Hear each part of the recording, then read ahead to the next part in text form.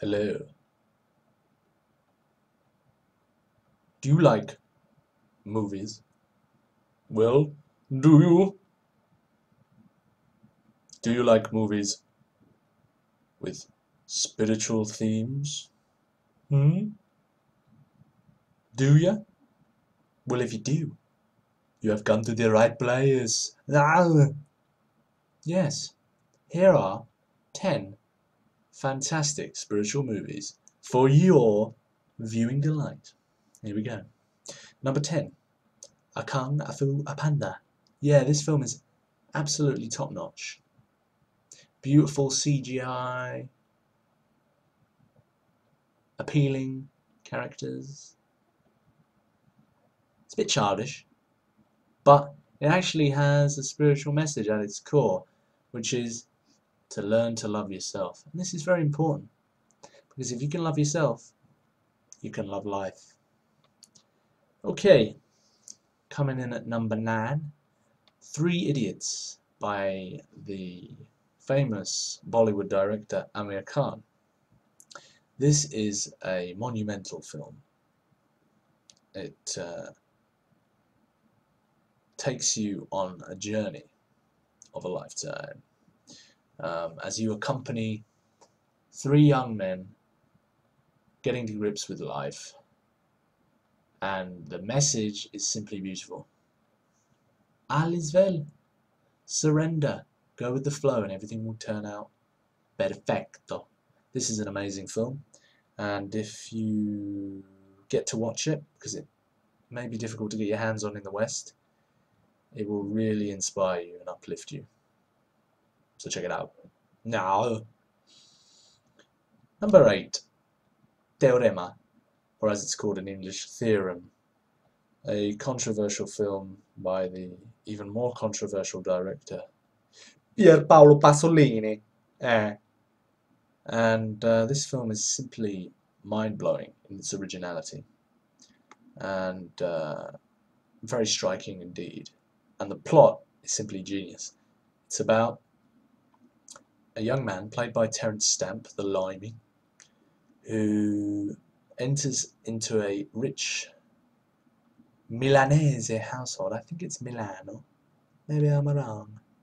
And uh, basically screws the whole family, to put it bluntly, changing their lives forever. He's kind of a Buddha, this guy. He makes sweet love to them and they all change.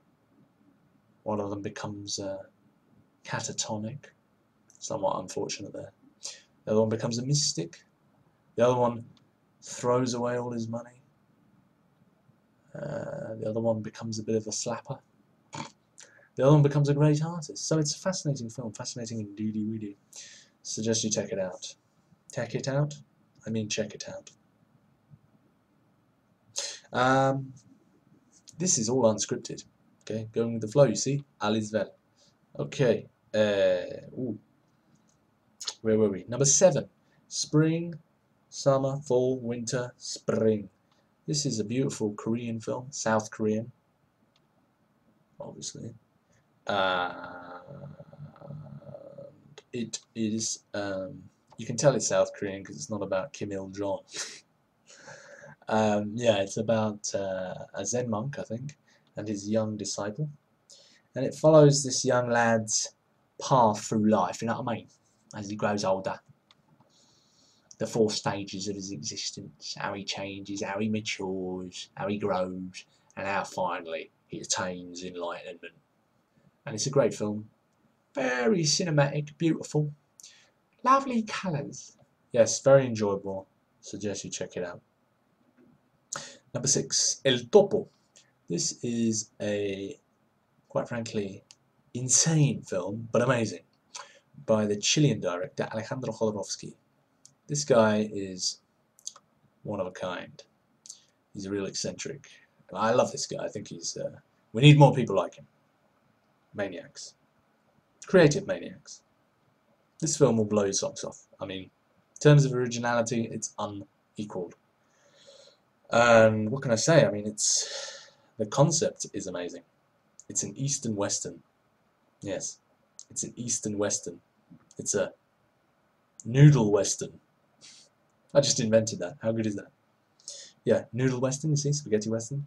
Yes, we got it. Alright, alright, calm down. Um, basically, yeah, the film is an eastern western, so it's about a cowboy who has to go around the desert, the Badlands, killing people for spiritual knowledge. It's pretty awesome. And there's a scene in it that I'll always remember. When he kills this one dude, this is a spoiler by the way, kills this one guy, and the guy just doesn't give a shit and just says, couldn't care less, man. It's powerful. I didn't make it sound particularly powerful, but trust me, it is. You'll enjoy it. Just watch it. Um, film number number numero number number five, cinco, cinq, cinque, eh, five, Uh,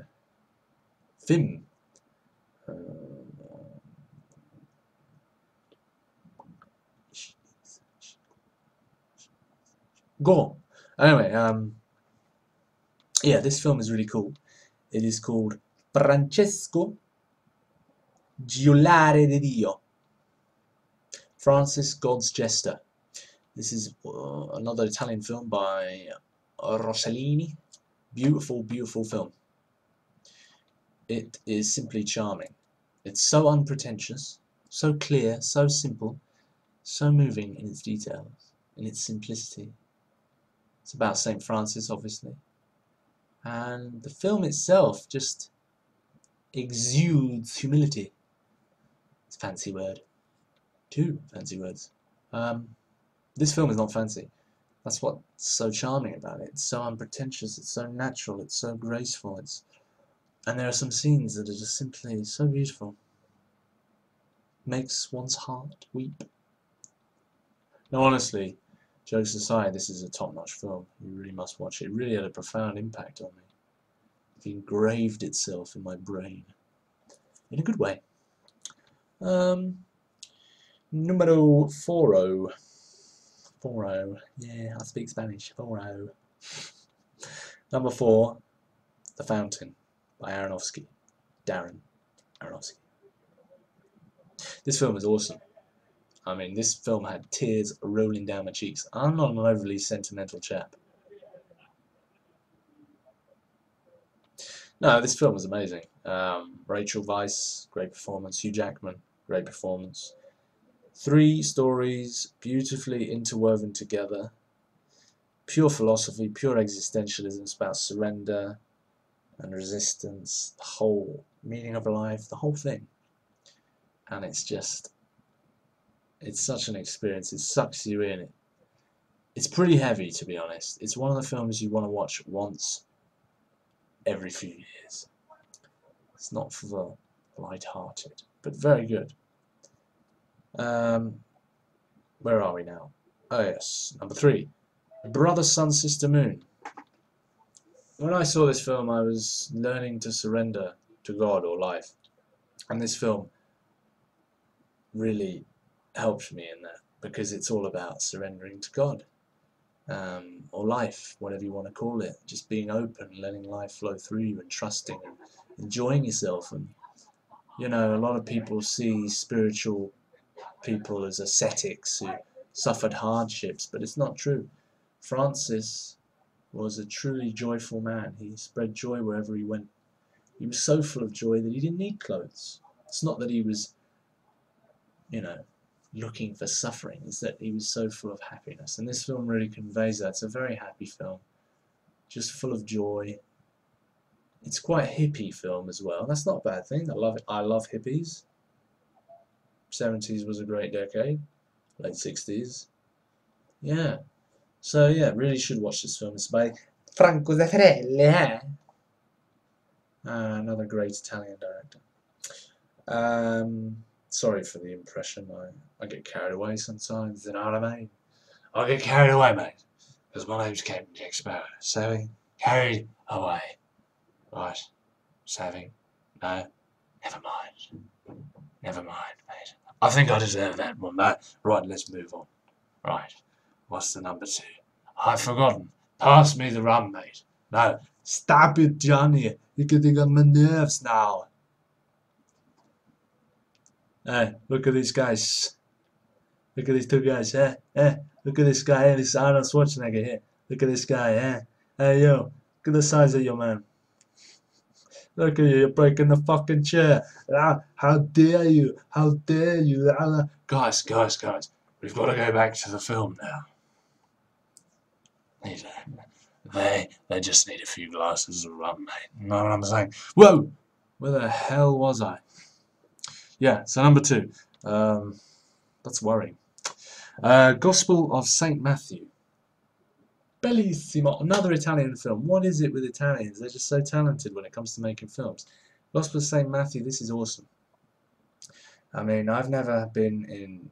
I mean, I had reverberations of spiritual inspiration. Shivers down my spine, you know, when I was watching this. Uh, I'm not a particularly uh, esoteric chap, you know. Uh, I don't, you know, you know, I don't particularly believe in chakras and kundalini. But to be honest, when I was watching this film, the pressure here on my third eye or whatever it is was immense. It was like someone was nailing a bloody nail into my forehead, you know, pneumatic drill. Spirituality is in the tape, in the reel of that film. You must watch it. I can't really say anything more about it. Just watch it. Number one, my favourite spiritual film of all time, probably my favourite film of all time, Zorba the Greek. Wow, with Anthony Quinn. This film is simply increíble in Spanish. Incredible. Incredible. Uh, it's just the character, Zorba. That's what sells it. He is the epitome, in my opinion, of enlightenment, of the enlightened man, of the free complete human being. And he's so charismatic, you can't help but love him. Even in the first scene, you're already smiling when you see his cheeky grin. This guy, his charisma is so infectious. It just comes through the lens and envelops you in his crazy dance. Makes you want to go to Greece and just get wasted on red wine. On the beach. Mm. Yeah, no, no, this guy, Zorba.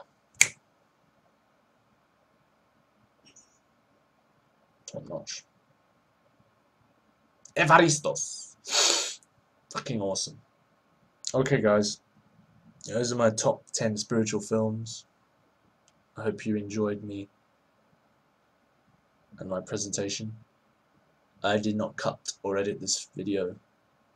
I'm against cutting and editing in general.